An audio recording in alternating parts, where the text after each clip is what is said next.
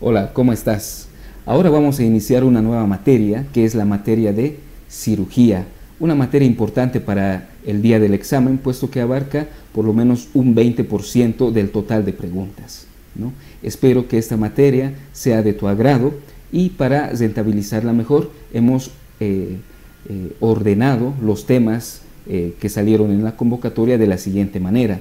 Vamos a iniciar con la unidad 1, que es la unidad de digestivo ¿no? y las patologías que comprende. Es la unidad más amplia eh, de la materia de cirugía y se encuentra ordenada por las patologías del esófago, patologías gástricas, patologías a nivel de intestino delgado, intestino grueso, patología de las, de las glándulas anexas. Posteriormente a esto vamos a ver la unidad 2, que es la unidad de traumatología, la unidad 3, que vendría a ser emergencias, la unidad 4 relacionada con la urología, la unidad 5 relacionada con lo que es la cirugía cardiovascular. Luego viene una parte de misceláneas y la última unidad por los procedimientos que se realizan a nivel quirúrgico. ¿no? Espero que esta eh, materia que está iniciando ahora sea de tu agrado y que puedas seguir el estudio que estás realizando hasta ahora. Siendo así, comenzamos vamos a ver lo que es el tema 1, que es la enfermedad por reflujo gastroesofágica, la conocida como ERG. Vemos ahí una imagen donde podemos observar esa unión entre esófago y estómago. El nombre de la enfermedad nos dice que hay un reflujo que viene desde estómago, es decir, un reflujo de eh, ácido clorhídrico que llega hasta la mucosa esofágica. ¿Cómo se, definirá entonces la enfermedad por reflujo gastroesofágico? Se define como todo síntoma o dato histológico que sea causado por estos reflujos eh, gastroesofágicos. Esa es la definición de ERG. Vale destacar que existe una esofagitis erosiva y una esofagitis no erosiva. La esofagitis erosiva es la que vemos en la imagen. Un paciente que tiene datos clínicos sugestivos de esofagitis. Les realizamos la endoscopía y en esta endoscopía se ve que hay un daño macroscópico visible de la mucosa. Eso vendría a ser la esofagitis erosiva. Y la no erosiva es, se refiere a un paciente que tiene los síntomas eh, semiológicos de una esofagitis, se les realiza la endoscopía, pero en la endoscopía no hay daño de la mucosa. ¿no? Entonces es una endoscopía aparentemente normal. ¿no? Entonces eso vendría a ser la esofagitis no erosiva, ¿vale? Eh, eh, diferenciarla de, de, la anterior, de la erosiva. Vale destacar que esta enfermedad tiene un origen multifactorial, es relacionado con el aumento de la esperanza de vida de los pacientes, relacionados eh, con lo que es la obesidad, con algunos fármacos que alteran esta unión eh, esófago-gástrica. Vale destacar que hay una esofagitis péptica y una esofagitis biliar. ¿no? La esofagitis péptica es cuando se fluye eh, ácido clorhídrico. nos haría una esofagitis tipo ácido. Y la esofagitis biliar es cuando se fluye, aparte del eh, del ácido clorhídrico también cierta cantidad de bilis, lo que nos daría una esofagitis alcalina. Bueno, vamos a hablar un poco de la fisiopatología de esta enfermedad. Esta enfermedad tiene una base anatómica. ¿no? El, paciente eh, en sí va a tener una anatomía a nivel de la basera antirreflujo eh, alterada. ¿Cómo está conformada esta basera antirreflujo? En primer lugar, el esfínter esofágico inferior, que lo tenemos en esta parte.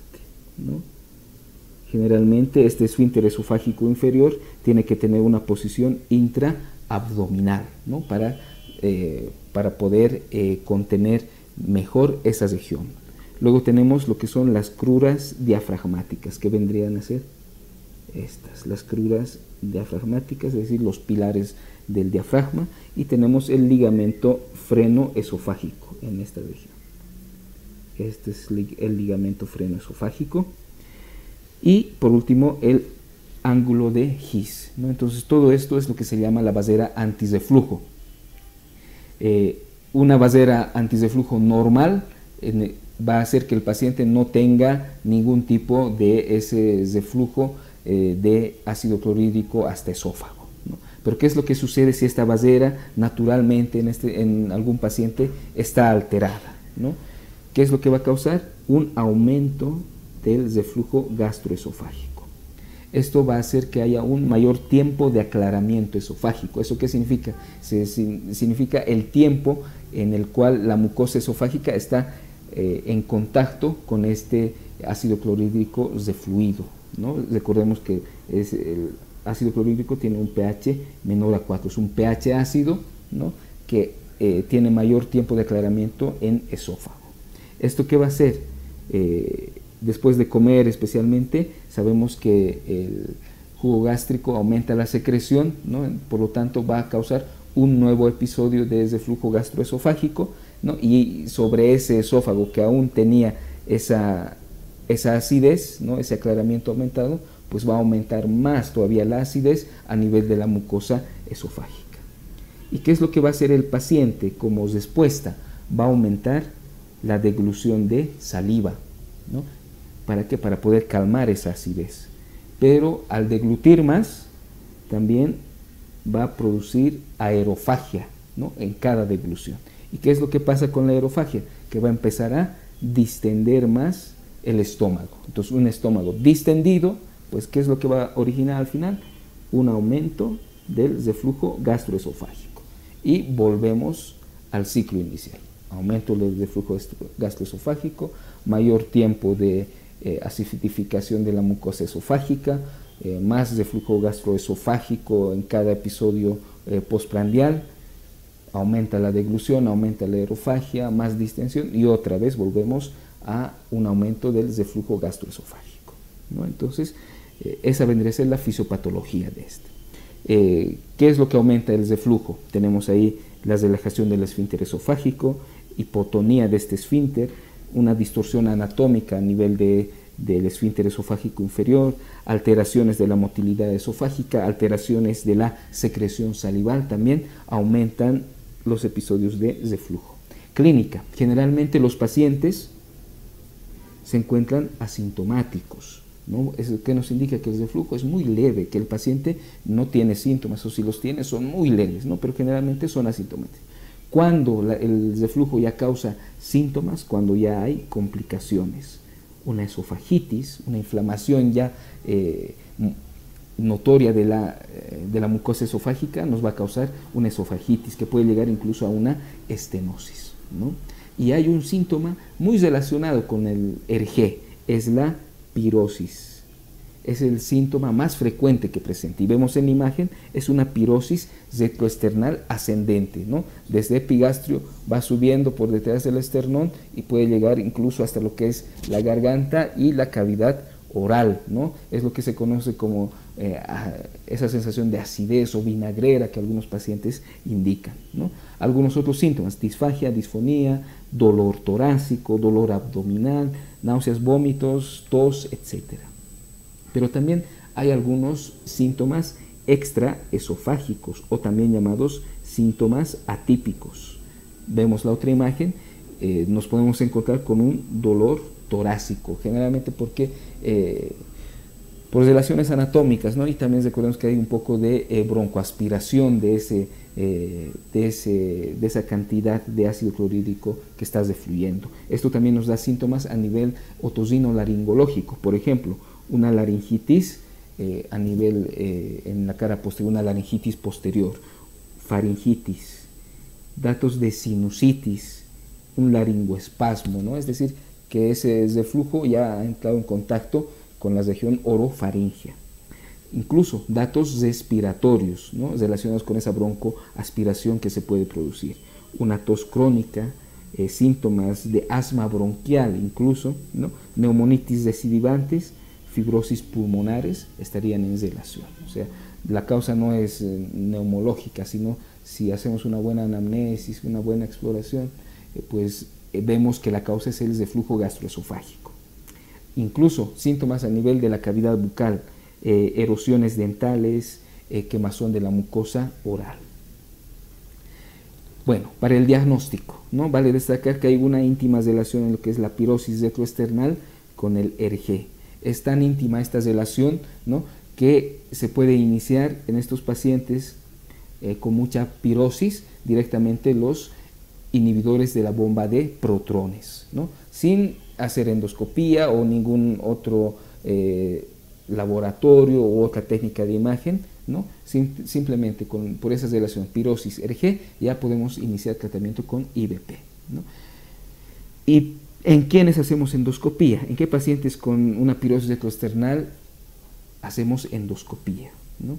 Eh, en aquellos pacientes eh, en quienes sospechamos de alguna complicación. Si sospechamos de alguna complicación por el reflujo, pues ya eh, estaría indicada la endoscopía. En pacientes que ya tuvieron tratamiento y que no es efectivo, pues hacemos endoscopía para descartar alguna otra causa.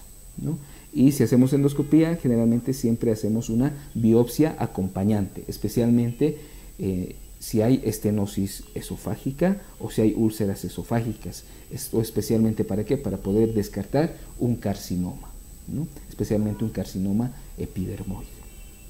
Bueno, ¿y qué hacemos si realizamos la endoscopía y endoscópicamente no verificamos un reflujo? No hay reflujo endoscópico. Pues como último eslabón diagnóstico tenemos la pHmetría. Esta pHmetría es una pHmetría ambulatoria ¿no? y en 24 horas. ¿no? Es un parámetro tal vez más especializado, pero se toma el tiempo total del pH generalmente ácido menor a 4.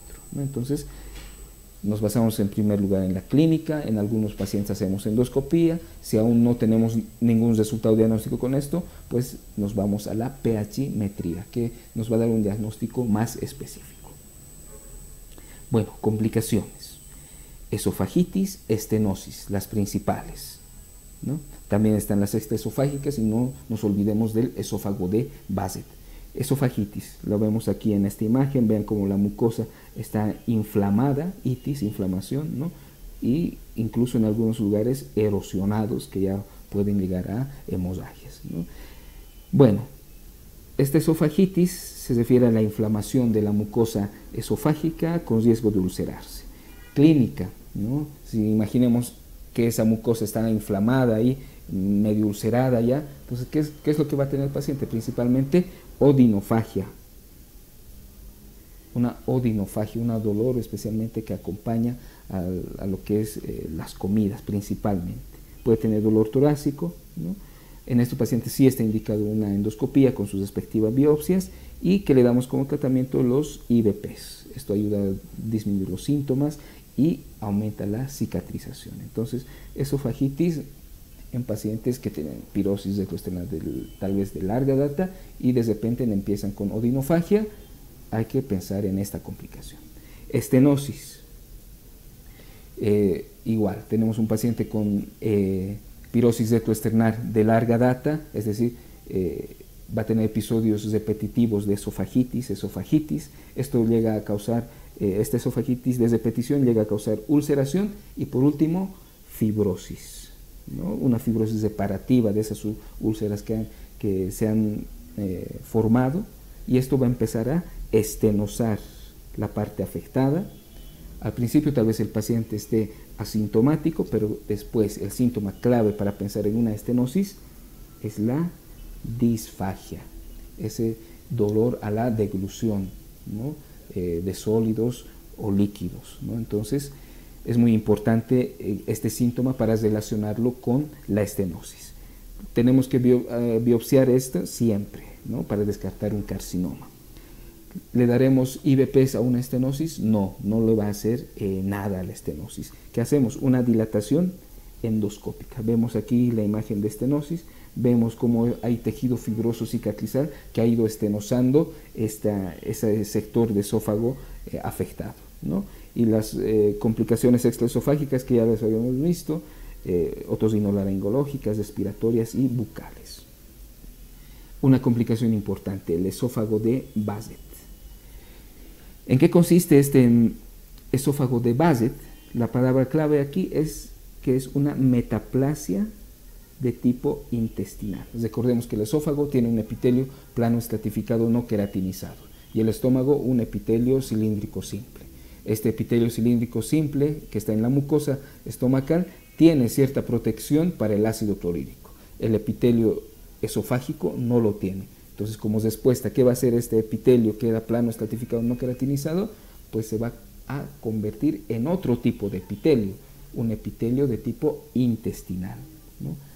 Un cambio de un epitelio a otro se denomina metaplasia. Hay una metaplasia intestinal. ¿Y eso qué es? Es el esófago de Bassett. Y esto es gradual. Comienza con una metaplasia, luego pasará a ser displasia, ya que esto es algo precancerígeno, no muy importante. Hay que evitar a toda costa eh, que, se, que vaya evolucionando a displasia, porque al principio es displasia de bajo grado, luego será una displasia de alto grado, y por último, y muy importante, el esófago de Bassett tiene riesgo de adenocarcinoma. Ojo que no estoy diciendo eh, eh, carcinoma epidermoide, no, es adenocarcinoma, un diferente eh, tipo histológico de cáncer. ¿no? Entonces, esófago de base tiene riesgo de adenocarcinoma y es gradual. Primero metaplasia, luego displasia de bajo grado, luego de alto grado y por último adenocarcinoma. Y si realizamos una endoscopía o un esófago de base, como tenemos aquí en esta imagen, ¿qué es lo que vamos a encontrar?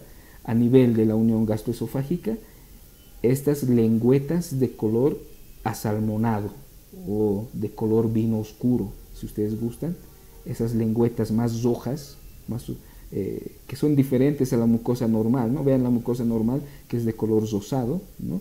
Esas lengüetas asalmonadas o de color rojo vivo, pues es muy sugestivo de un esófago de base. Ahí hay una metaplasia, hay un cambio de epitelios. El diagnóstico, ¿cómo va a ser? El diagnóstico es histológico. ¿Quiénes lo hacen? ¿Un patólogo muy entrenado? No, dos patólogos incluso. Tienen que ver esa metaplasia, identificar eh, ese, ese cambio ¿no? a una metaplasia de tipo intestinal principalmente. Por lo tanto, en la, al hacer la endoscopía, también eh, se harán biopsias múltiples. ¿no? Si dividimos en cuatro cuadrantes a esta imagen endoscópica, pues las biopsias se tomarán de cada cuadrante, varias biopsias en cada cuadrante, para poder ¿qué? hacer un diagnóstico efectivo, ¿no? diferenciar las partes que tienen metaplasia de las que tienen tal vez displasia o no las tienen, ¿no? Entonces el diagnóstico es enteramente histológico en el esófago de Bassett, ¿no? Pero este lugar, si vemos eh, en el esófago de Bassett, por ese reflujo que generalmente lo causa, pues está inflamado. ¿no? Se recomienda hacer eh, antes de la endoscopía desinflamar ese lugar. ¿no? Eh, lo puede hacer con IBPs, cosa que no haya inflamación. Porque ¿qué es lo que pasa? A nivel, vemos esta placa histológica, ¿no?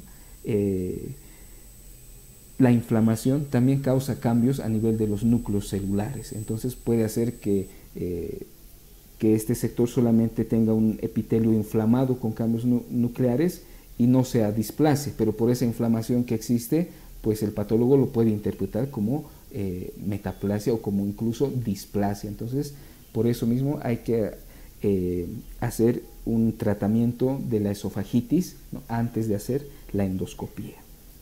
Y para el tratamiento y seguimiento vamos a observar el siguiente esquema. Bueno, tenemos aquí una endoscopía con su biopsia. Vamos a empezar el resultado de la biopsia que nos ha dado que eh, no hay displasia. ¿no? Aquí está. Vamos a utilizar otro color. No hay displasia. Ya es una metaplasia solamente. Entonces, si se dan cuenta, la metaplasia todavía es benigna, ¿no? Porque aún no tiene displasia.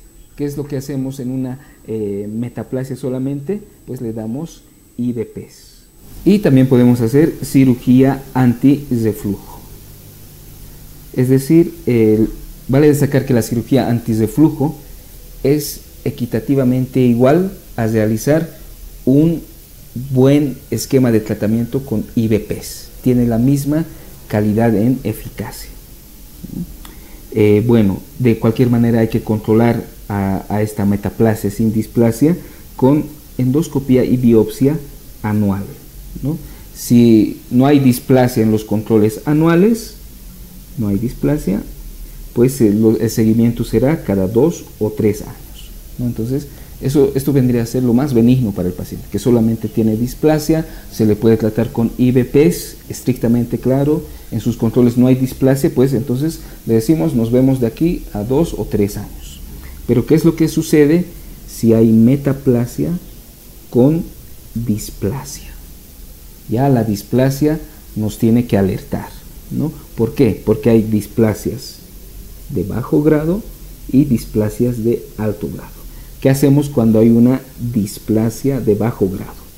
De igual manera, iniciamos con tratamiento IBP o cirugía antirreflujo, pero ya el seguimiento va a ser cada seis meses y vemos eh, cómo va evolucionando ya esta displasia de bajo grado.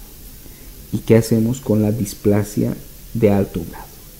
Ya esta es eh, de mucha alarma, ¿no? Y el seguimiento tiene que ser cada tres meses, incluso en pacientes a los que ya se les detecta una displasia de alto grado, se le puede realizar una esofagectomía, porque ya tener una displasia de alto grado es indicar que a futuro y a, tal vez por un corto tiempo se tenga un adenocarcinoma esofágico.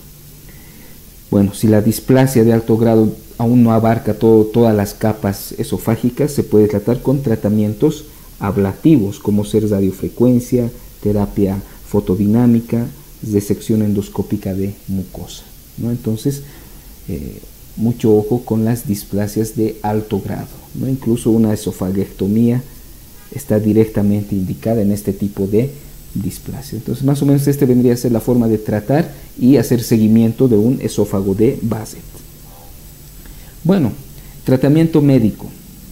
Para iniciar IBPs, que es el tratamiento, o la cirugía antirreflujo que la mencionaba anteriormente, es importante establecer el diagnóstico.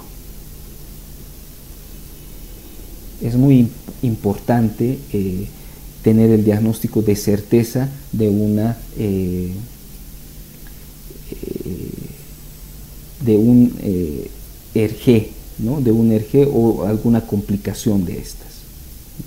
¿Y cómo empieza el tratamiento? Con las medidas higiénico-dietéticas, evitar lo que es el tabaco, disminuir el consumo de grasas, disminuir el consumo de chocolate, eh, porque esto eh, relaja el esfínter esofágico inferior, entonces predispone al reflujo gastroesofágico, eh, disminuir los alimentos ácidos, evitar comer en exceso para evitar la distensión abdominal, evitar lo que son los fármacos calcio antagonistas, ¿no? porque estos, todo esto disminuye la presión del esfínter esofágico inferior. Eh, algo importante, subir la cabecera de la cama de 5 a 10 centímetros ¿no? para eh, dificultar ese reflujo, especialmente al acostarse al dormir. Y también ayuda a la disminución de peso. La segunda medida de tratamiento son los fármacos. ¿no? Tenemos ahí los antagonistas de los receptores H2, eh, los IBPs, los agentes, los procinéticos, los protectores de la mucosa y los agentes anti-reflujo. Los que se llevan el galardón como tratamiento farmacológico son los inhibidores de la bomba de protones, porque tienen una unión reversible a esa bomba, ¿no? Se unen irreversible a esa bomba y esa bomba ya no va a generar más ácido clorhídrico se puede usar omeprazol o es omeprazol, ¿no? ¿Y por qué los otros no? Generalmente los antagonistas de los receptores H2 como la zanitidina, pues produce taquifilaxis, ¿no? Los procinéticos, el más conocido es la metoclopramida, que no tiene una acción directa sobre el ácido clorhídrico de fluido, sino que la metoclopramida eh, aumenta la presión del esfínter esofágico inferior y aumenta la motilidad gástrica, entonces hace que los alimentos ácidos sigan su tránsito normal más rápidamente. los protectores de la mucosa, el sucralfato. El sucralfato se une ahí adherentemente a la, a la mucosa esofágica y lo va protegiendo a manera de un gel.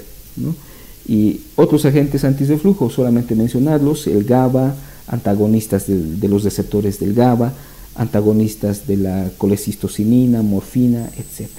Entonces, no olvidemos, los más utilizados son los inhibidores de la bomba de protones. Bueno, el tratamiento quirúrgico. Eh, el tratamiento quirúrgico, eh, es decir, la cirugía antis de flujo, es el tratamiento más eficaz a largo plazo y puede llegar a eh, restaurar la basera gastroesofágica, esa basera antis de flujo. Ese es el principal objetivo que tiene, poder restaurar la anatomía de esa basera. ¿Qué indicaciones absolutas tienen las, eh, la cirugía antis de flujo? Que el paciente eh, tenga una falla en el tratamiento médico, es decir, un paciente ya se le ha dado IBP, se les ha vuelto a dar incluso hasta dos veces, ya con, eh, con ese antecedente de falla terapéutica, ¿no? se tiene que considerar, le hago una cirugía antes de flujo a este paciente, pues es mejor que sí, para que, haya, eh, para que no haya control inadecuado, para que las regurgitaciones no sean tan severas, se puedan controlar, ¿no? y eh, generalmente son los objetivos de esta cirugía antes de flujo.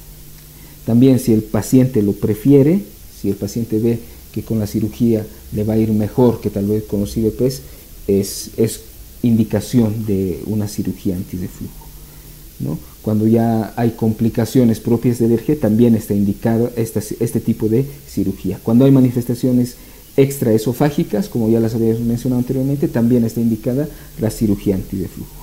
En pacientes jóvenes, claro, tienen una larga vida por delante, es mejor eh, tomar en cuenta esta opción quirúrgica. Las, miotomías de Heller, que también se hacen a nivel eh, del esfínter esofágico inferior, pueden modificar este sitio anatómico y causar reflujo. Entonces, generalmente estas miotomías siempre van acompañadas de cirugías antirreflujos. Un ejemplo de esto es la calasia. Hernias paraesofágicas también son indicación. Algunas indicaciones relativas, que cuando el paciente responde a los IBPs pero no tolera los efectos secundarios de estos fármacos, esofagitis de segundo grado, estenosis esofágica, úlcera péptica, un esófago de base con riesgo quirúrgico aceptable, son indicaciones también para hacer estas cirugías anti-reflujo. Y hablar de cirugías anti-reflujo es hablar de las funduplicaturas. Eh, son las cirugías anti-reflujos contra el ERG.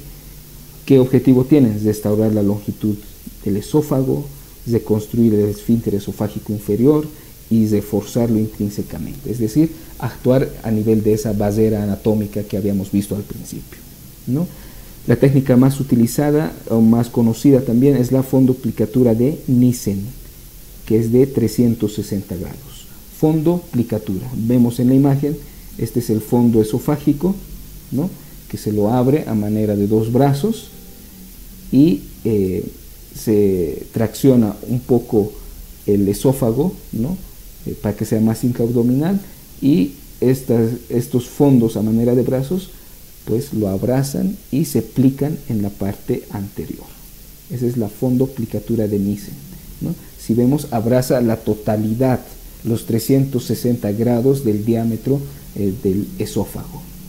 Entonces, esa es la fondoplicatura total de Nissen de 360 grados. Tenemos también fondoplicaturas parciales, por ejemplo la de Toupet es de 270 grados, la de Dor es de 180 grados, ¿no? pero la más conocida, repito, es la fondoplicatura de Nissen. ¿Qué complicaciones tienen estas fondoplicaturas? Por ejemplo, eh, si esa fondoplicatura ha sido muy laxa, o sea, no está bien eh, clicada, pues el reflujo puede recidivar. Pero ¿qué tal si esa fondoplicatura está muy apretada? Pues el paciente no va a poder eructar ni va a poder vomitar. Entonces, eh, son algunas complicaciones que tienen estas cirugías. Y generalmente la más frecuente es la disfagia postquirúrgica. Bueno, y recordemos, una cirugía antirreflujo tiene la misma efectividad que un buen tratamiento permanente con inhibidores de la bomba de protones. Si el paciente se compromete y cumple muy bien el tratamiento, tiene la misma efectividad que realizarle una fundoplicatura, una cirugía anti-reflujo. Bueno, entonces este habría sido el primer tema de enfermedad por reflujo gastro